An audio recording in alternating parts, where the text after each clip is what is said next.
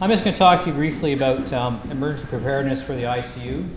And um, please be interactive. Don't let me do all the talking. Please ask questions and share because uh, it's not a topic that uh, anybody has a tremendous amount of experience with. It's one of those things that comes along. But um, so let's talk about a few of the characteristics of likely disasters, what our responsibilities are, particularly in the ICU, and what can we do to better prepare for an emergency. One of the important concepts to understand is the idea of um, supply and demand uh, with medical surge, and uh, and so we have to understand that uh, there is a certain amount of surge capacity that we can develop, um, and we can do that with a a, um, a certain to a certain degree, um, but uh, to go beyond that to gener generate that surge capacity basically means we have to um, uh, plan for it and prepare for it. And it's kind of, it's not really compatible with the efficient model of healthcare that we currently provide. You know, the current model that's used in healthcare is provide just enough services to meet demand to have what's called just-in-time supply delivery so that every morning, you know, uh, a big black truck drives up here at, you know, 6 o'clock or 6.10 after the morning. That's the next day, a day and a half worth of supplies and that's it. The hospital doesn't really keep a big cache of equipment. There's no big warehouse full of supplies to be used for the next month. What's going to be used this week is going to be delivered this week. So you might remember this. This is about a month ago. This is San Diego without any lights. Um, just a little reminder what can happen, okay? Now, this was an interesting event because, I mean, it didn't technically meet the, the, the definition of disaster, but if you think about it, you know, Nothing actually was wrong with the electrical system. It just wasn't working. There wasn't an earthquake, you know, there wasn't a bunch of stuff that was broken. There wasn't, uh, you know, a bunch of pylons that were down in the desert that would take weeks to rebuild. All the system was there, all the power plants were there. All that happened was there was a temporary imbalance and the whole thing came down like a house of cards. Now, imagine if there had been an earthquake or a fire, and we had lost all the lost power lines that would take you know days to weeks to rebuild, what would happen? How long would it take for that grid to come back up? So I mean, it definitely shows we definitely have some vulnerabilities, and as technology becomes more sophisticated, these things are very much more likely to happen. So they blamed it on some worker near Yuma, but obviously, you know, if you create a system where one guy can push a button and all the lights go off in two states, that's that's not Bubba's. That Bubba didn't do that. You know. Okay, so it's warm out there today. The uh, Santa Anas are blowing a little bit, and you may remember this. Anybody remember uh, when this was done? How quickly we forget. How quickly we forget. Right, so this was 2003. Now what that is, is that's California, and that's smoke. And you can see how the Santa Anas are blowing out of the desert into the populated area of California and the smoke is just pouring out of the out of the out of those uh, that brush around the cities, and you can actually see, you know, where um, L.A. and San Diego are. San Diego is completely uh, completely covered in smoke, but so is most of L.A. and um, and of course, this was San Diego, Rancho Bernardo, and that's a you know, you can see there's a few vehicles in there along the road. That was their fire line to defend that particular town, part of the town. Of course, happened all over again four years later, and now it's 2011. It's four years after that. So, right? Now this year we've had a lot of rain, and we've only had a couple of weeks Santa Anas. But you know, in 2007 we had three or four Santa Anas like this, short ones, and then we had a big one that lasted about a week. At the end of that week, stuff started burning. So it can happen anytime. Um, and then, of course, there's other kinds of, of uh, disasters, and that's man-made. This is a Madrid subway bombing, and uh, this was a very uh, nasty attack, very simply performed. They just took knapsacks with bombs, put them on all the subway cars throughout Madrid during morning rush hour, and they created a huge number of casualties. One hospital received 312 patients over two and a half hours. Can you imagine us receiving 312 bombing victims in two and a half hours? You know, that's the sort of thing that can happen. And of course, it happened all over again in the next year in, in uh, London. Of course, next year London's having the Olympics. You can imagine what things are like there in the trauma system and the ICU system. They're obviously a little bit worried. Anybody know what this is? That was a tsunami. Most people in that picture are dead. They have no idea what they're even looking at there, but they don't realize that's imminent death. Is San Diego a tsunami uh, vulnerable city? You betcha. Yeah, it definitely is. We're facing, most of the coast here faces a little bit south and southwest, so we have a little bit of protection from Japan and the North Pacific, but we still are open to uh, tsunamis from the south, particularly from uh, Chile. So that was 2004 as well. And of course, remember this, this was 2005, that was Katrina. You know, this is University Hospital, New Orleans, 2005. You can see the emergency department there. The water is about halfway up the doors. The whole bottom floor is flooded. The hospital is useless. Guess where the uh, emergency generators were? Basement. Yeah. You know, this has got to be bad planning. You know, New Orleans, that part of New Orleans is basically below sea level with a, a levee, right? So they got to know that's a bad idea. Anyway, that hospital never reopened really. Sarin and Tokyo subway, that was back in 95, but that's definitely something that can happen. It's a big worry. You know, interestingly, this attack, although it made over 5,000 people scared or sick, it only killed about seven people. But it was uh, particularly nasty and effective. It took a long time for the Japanese, almost four hours, to realize what they were dealing with. This is, of course, Oklahoma City, Murrah Federal Building, domestic terrorism, as they call it. And of course, there's a precedent for this. This is a picture from Beirut, okay? And um, this was the bombing of the American Marine barracks in, in Beirut. This was the view uh, actually from about uh, two and a half miles away. And you, you see what looks like a mushroom cloud.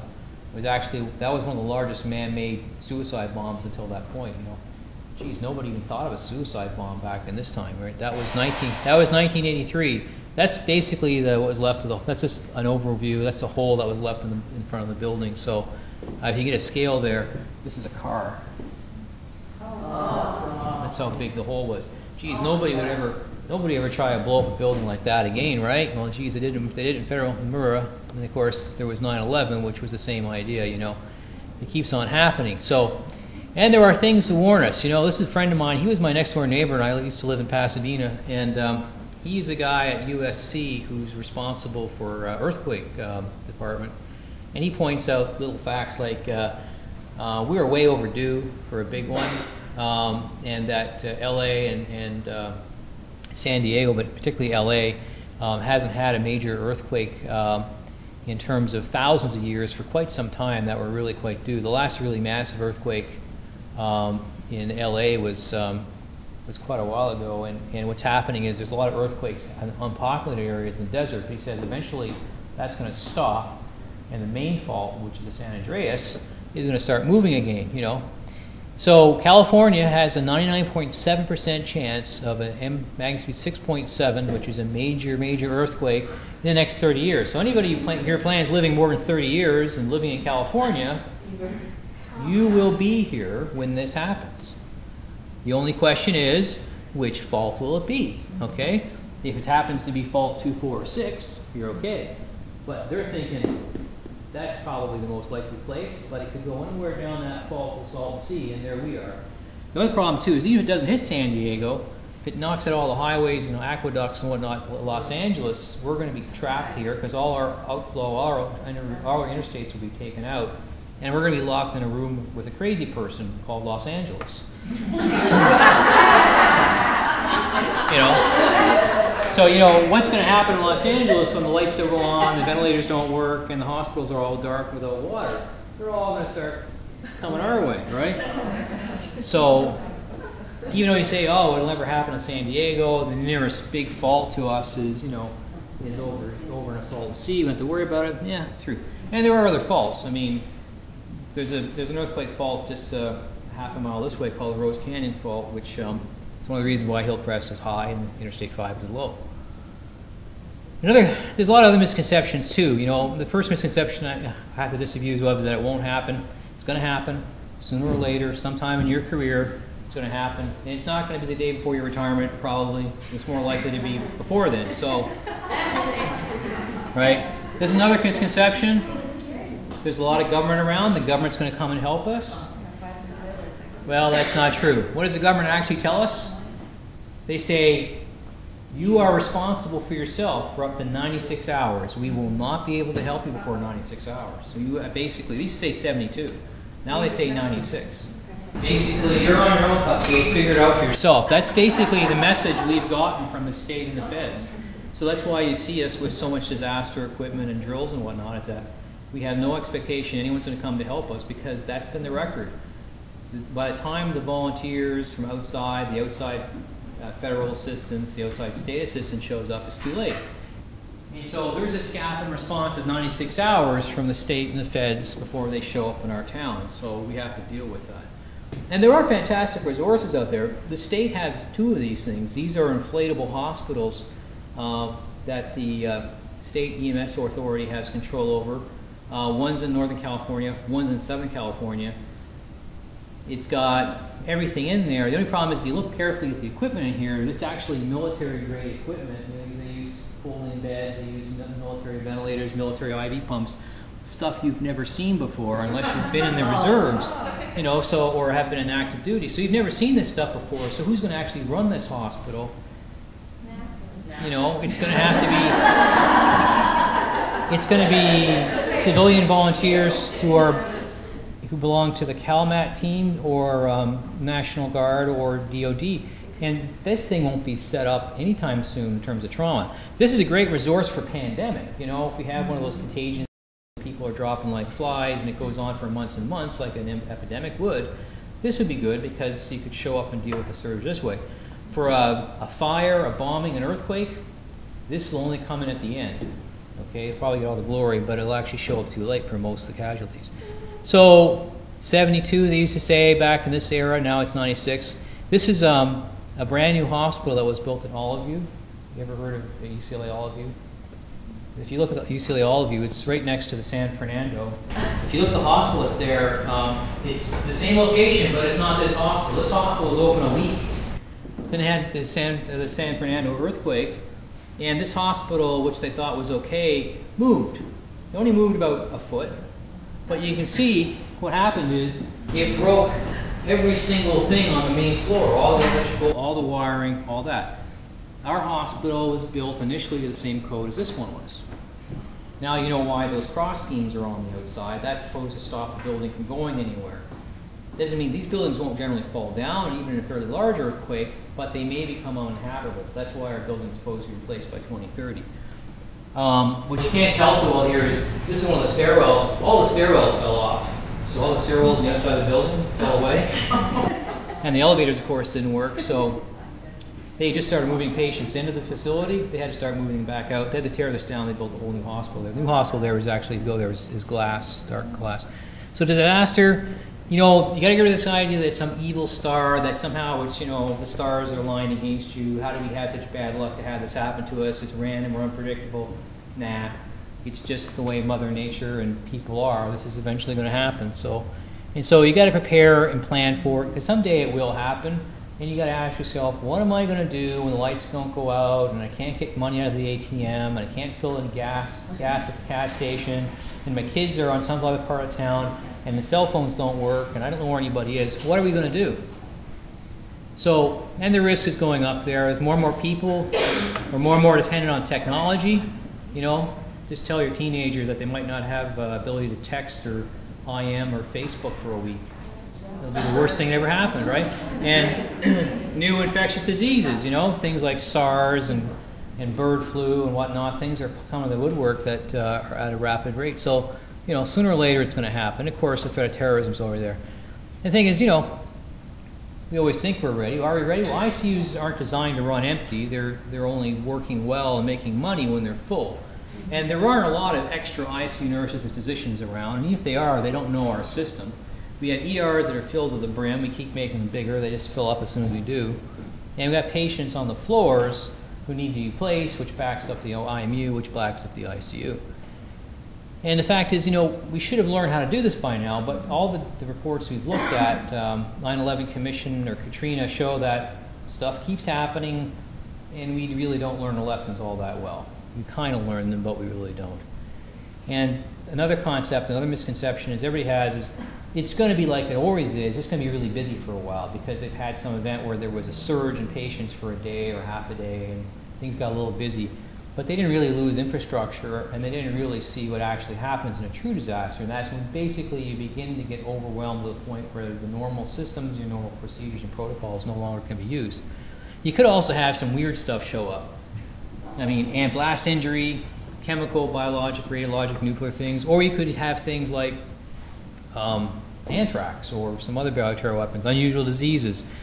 The hospital itself, unfortunately, is also a target. So it's uh, if depending on what's going on, uh, it could be a second hit against the hospital itself. You know, they may have attacked a particular target, like terrorism may go bomb up a political convention, and later go and bomb the victims at the hospital as well. You know, and that can definitely have an effect on providing health care. Um, one thing to point out to you, most of the folks here today are nurses. This is the SARS epidemic in Toronto, which um, we uh, noticed that uh, most of the people who um, uh, actually got it, it looks like part of my slide fell away there, but um, looking at this, the first number um, shows you, um, you know, who got the actual SARS and who died of it. you'll notice that uh, most of the patients who got SARS, the largest group, were healthcare workers, mostly nurses. The second column is those who, who died. Most people who died of SARS in the SARS epidemic were nurses, mostly ICU nurses. Little fact that they don't talk about too much, but that's actually who took the brunt of that particular epidemic. It used to be physicians. This was one SARS victim walk, who came into the hospital at uh, Grace, a little hospital in Toronto, came in through the emergency door, waited in the waiting room for a while, got triaged over at registration, went to uh, a trauma room, but decided to leave because there was too much of delay. And this is all a person that got SARS after that one person came in the ED. So you can see this stuff can be pretty contagious, right?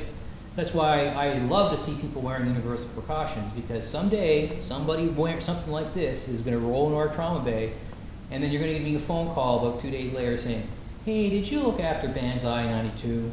Yeah, you got to come in and get a whole bunch of blood work done because you may have been exposed to, I don't know, herpes simplex 26 or something. God help you, you know. So, so I mean, this was this. Um, this is actually the ICU during the SARS epidemic in North York, another hospital in Toronto. That's the nurse manager. That's the chief of nursing. Um, and they were doing the first line care of one of the patients who was dying, who actually was another nurse. Um, so uh, the other nurses are all gowned up. That picture on the right there, this was all that was left of, um, of Charity Hospital um, in February after the um, August, earth, August hurricane. That's what they were reduced to. So get an idea how that's so it can definitely affect the hospital. One of the things we have to uh, deal with is with the disaster is to stop the chaos on the outside the outside world coming into the facility if that chaos at the scene or the chaos in the community gets into the hospital, particularly if it gets into the high, high tech areas like the, the OR or the ICU, we're sunk, okay? So you have that scene chaos, and what happens if there's no control is basically the scene will come to the hospital, and then the scene becomes chaotic. And one of the things about an initial disaster is there's a lot of chaos. The chaos, um, the way it works is for about every minute of chaos, there's about 10 minutes of recovery needed. So if you have a really big disaster and it takes five or 10 minutes to, to get over that, that may take up to an hour before that chaos actually gets under control. The other thing too is if the disaster is close to the hospital, the hospital may have no, no ability to defend itself. They may be overwhelmed. So in Oklahoma City, just down the street from the, from the building itself, was one of the hospitals with an ED in Oklahoma. And the ED doctor and nurses knew that there was something had happened because their doors actually got blown off the hinges into the ER. So they're working away, kaboom. The doors come flying by. They look out the door. They see a wall of smoke and dust. They don't know what's happened. And a few seconds later, a mass of humanity all starts walking towards them. Okay, at that point they know their day is pretty much shot. Okay, that's going to be a bad, bad day. And that hospital was effectively not working very well until they were able to get that chaos back under control. So you don't want the chaos to come to the scene. What you need to have happen is a plan and a way of switching on that plan so that the scene chaos stays at the scene, you still have a functional hospital. And that requires things like security, locked doors, controlling entrance, whatnot. That's why a really good idea why you should always be going home with your ID and keeping your ID with you in your car because if you have to negotiate your back way past the checkpoint, to get back to the hospital someday because there's a disaster, it's much better to have some ID with you than not to have it. In some cities like Vancouver, uh, Seattle thing too, there's actually a special little mark on hospital workers' ID that indicates they're allowed to drive their car during a disaster and use certain roads. Don't have that little mark on your ID, you can't drive on those roads. So, how do we recognize these things are happening? Who initiates the disaster response? Who's our incident commander? Who's the triage officer? These things are all kind of um, dealt with in a disaster plan. The disaster plan is online. The problem is because of groups like Joint Commission and whatnot, they put more and more demands on us to actually um, have certain things in the disaster plan. The disaster plan has uh, ballooned from about 30 to 35 pages. Now it's over 130 pages, plus there's annexes. So to read the thing is actually quite onerous. It's quite a big, uh, difficult thing to do. However, um, it is important to thing. The disaster response, the code triage, of course, on the back of your tag is co what code triage is. That's a mass casualty event. That's initiated by the ER doctor the administrator on call may have a, a, role in that, but it's the emergency doctor, the emergency doctor on call that does that. Code oranges, which are internal disasters, they can be initiated by anybody. And so you can call code orange because you see sewage coming out of the ceiling, or there's no power, or there's no something else not working. Anybody can initiate that. Um, the triage officer is usually one of the ED physicians. And how are we going to communicate? Probably the biggest problem we would have is how you're going to communicate in a disaster. You can see very quickly things like cell phones and landlines can go down very quickly. During the power failure, you know, our internal telephone system stopped working. The only system was working was the red phones. Within a few minutes of that happening, got a call calls coming down to the incident command center is, where is the telephone list for the red phones?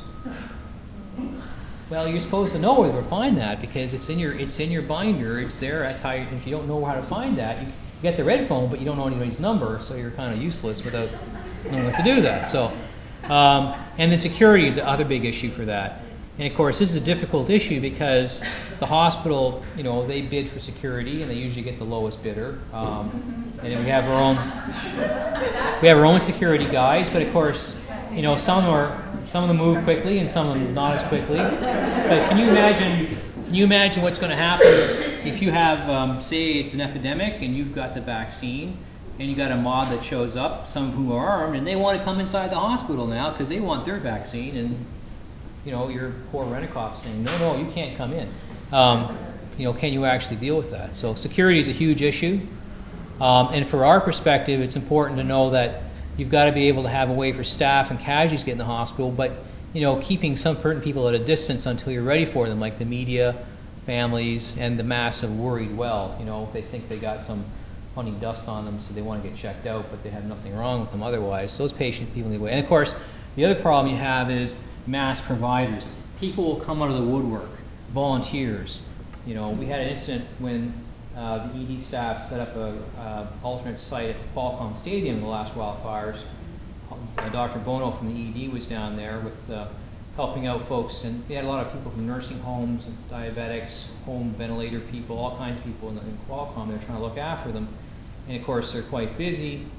Um, and this particular person showed up and said she was a nurse from one of the fire departments, and she said, you know, I'm here to help. And Dr. Bono said, that's great. And they put her to work, and after a while, somebody from that particular fire department came by and they said, you know, thank us for sending us your nurse. And they said, uh, we don't have a nurse. Turned out was she not only not a nurse for that department, she actually was not even a nurse. so, you know, you have an issue where people will show up and they'll be willing to help, but if you don't have some way of credentialing them in advance, knowing who they are, they may be more of a threat than uh, nobody else. So you need that protection. Um, scene safety, sometimes um, people get the idea that they should respond. So remember that hospital that was nearby Oklahoma City? Well, somebody said, you know, there's a bunch of kids hurt, so they sent kids, you know, sent nurses from the, uh, from the PICU and the NICU to the site because they thought they could help all these injured kids, which is a really dumb idea because it was a very unstable building and these nurses ran over. They're not really equipped for dealing with a hazardous scene, and one of them didn't make it because something landed on her head. She wasn't wearing a helmet, and so she became a victim and, was, and died as well. So one of the things to recognize is if you're not trained for the pre-hospital environment or the disaster scene, the concept of rushing to the scene to help out because there's a lot of patients there, that's not a particularly good idea, okay? So surge, you have two concepts of surge. Surge capacity means the space to take additional casualties above the normal level of resources. So you got a 20 bed ICU, can you expand 30%? Can you go up and become a, uh, you know, a 30 bed ICU? Is that possible? Well, yeah, you can do that, and any hospital is supposed to be able to have a surge of 30%. Sure, you're going to have shut down elective surgery, have to take over the PACU, you're going to to call people in, but can you actually do it well? And that's capability. That's the ability to care for those extra casualties. So if you have a 30% increase in casualties and they take up that extra space, will you do a good job looking after those people or do things actually have to change? And that's one of the, one of the difficult issues in dealing with surges. So this 30% immediate surge capacity we talk about, you could, they say you might be able to get 10% of staff beds from expedited discharge. So somebody is waiting for some kind of a facility or a room, you start moving those people out, and now no excuse is good enough if somebody's making excuses. Uh, you, you, cancel some, you cancel some surgery and some elective admissions, that might give you another 10%. And then you might be able to find some other area that you could go into um, either licensed beds or unlicensed beds. If some, if the local authority has actually declared a disaster, all those federal and state rules that we have to live by actually go away. There's actually a state law saying that hospitals, doctors, nurses, and dentists are protected from lawsuit from anything they did in good faith during a disaster, as long as it wasn't particularly crazy. Now, that, that law dates back to the 50s, so it doesn't mention therapists or technicians, but hopefully they would be covered as well. Um, but as a result, you can use unlicensed beds if somebody has to do it. Now, unlicensed bed, is the CDPH going to do something? No. CDPH actually published the surge guidelines, so they know this, and the Joint Commission knows this as well. So once the disaster has actually been declared, if you have to put somebody in the hallway, or you got to put somebody in the auditorium and look after them there, that's okay. That's legitimate. Is that going to be enough? So most counties have already have a surge capacity of 10 to 15 percent, and we have got a big emphasis in the last few years on EMS and pre-hospital care. Um, there was a lot of money thrown around the last 10 years for bioterrorism preparedness that's starting to dry up now. And the California EMS agency has had this all hazards approach, which means we should be able to prepare ourselves for anything. So is that going to be enough? Well, think about where we are. We are kind of special. We are in San Diego, and 18 miles that way is a border. And on the other side of that border is a whole lot of people. Now, you might just say, we'll close the border you have to remember that a lot of people on that border are, on the other side of the border, are Americans or are legal residents, and they have a right to cross the border. And so as a result, you can get a lot more people. So in a bioterrorism scenario, they say we have to be able to surge one bed per 2,000 population. Well, how many people with beds would that be? That would mean we would need, in a full-scale bioterrorism, 1,500 surge beds. Okay, and that means uh, you've also got to remember the border people who have the right to cross the border. That's another 500 beds because a lot of those people can cross. And if it's bioterrorism, like SARS or um, avian flu, what's the new one? I'm forgetting the new for the new one. But um, anyway, up to 60% of those patients could be ventilated, could be ventilated long term. So how many ICU beds are you going to need? You need 1,200 ventilated beds. How many ICU nurses is that? 5 times 1,200 is like 6,000? Something's got to give, right? That's not going to be that feasible. So when you talk about surge, you know, you've got to increase that expertise. You've also, at some point, got to go back to looking after all the other patients, and you've got to do that right away because, you know, during disasters, people still have babies, they still have heart attacks, that's where it happens as well. One of the things about trauma, unlike bioterrorism, bioterrorism though, you can, you do have a chance because it happens slowly. You know, the, um, the last flu epidemic actually happened in three phases. It actually took over, over a year for the whole thing to evolve. In fact, it still may be evolving. We're not, not sure what the flu is going to do this year. But for trauma, things happen really quickly. It's going to happen real fast And the real problem is there's a rate at which things start to fall apart. And you've all seen this. You've seen the edges of it when you start getting that trauma bay completely full and you've got like six or seven patients all at once. That's happened now and again over the years. This is from a, this was a model from uh, uh, Asher Hirshberg, who worked in both Texas and in uh, Israel. And he pointed out that around five critical patients per hour, things started to fall apart. The quality of the care began to deteriorate. And what happens, what's really important about this is, you know, when you get up to about 15 patients an hour, you're doing really crappy work unless you can really uh, expand your ability. But what really makes a difference here is this curve can go back and forth. If you're well prepared and have additional help and additional space, you may be able to go left or right. But the one thing that'll make this go really out of whack is um, this is bailiff surge capacity and surge capability. But if you have a problem of over triage, that is, you're getting not just patients who are severely injured, but also patients who are minor injured, not much wrong with them, worried well, it actually decreases your ability to look after those patients.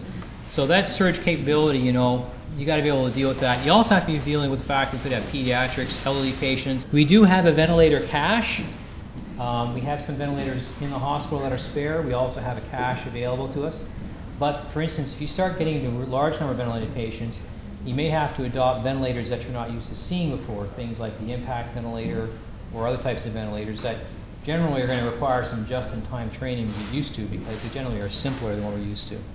And of course, you need a lot of specialists to deal with that. So just to let you know, uh, if you're interested in, in surge and surge guidelines, um, this is CDPH, the guys that come and torment us. They actually publish the surge guidelines, so they know this will actually can happen. So this is available online if you want to look at it. It's actually quite comprehensive, but it talks about how the standards would change. One of the things that would happen in disasters, we would switch to what's called a population-based standard of care, which means you may actually have to be less aggressive or withdraw care in patients who have a low probability of survival because there's just not enough resources to look after them. That's one of the hallmarks of, of a true disaster.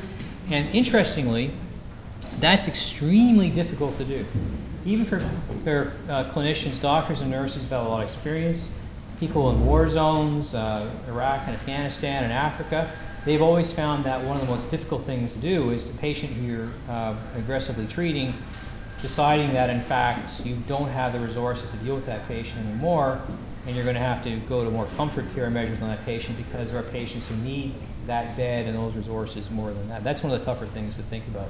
Yeah, but there is a lot of description in, in this uh, on this website, CDPH. Um, if you look under surge guidelines, uh, has that there. The last issue I'll talk about is liability.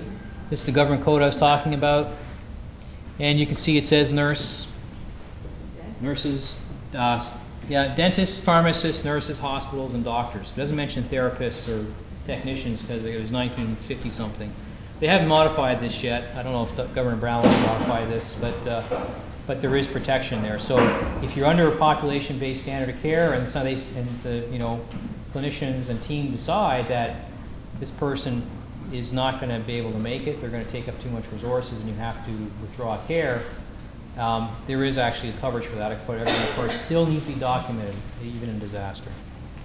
All right. Any other questions? Otherwise, I'll let you go to lunch. Don't keep me longer.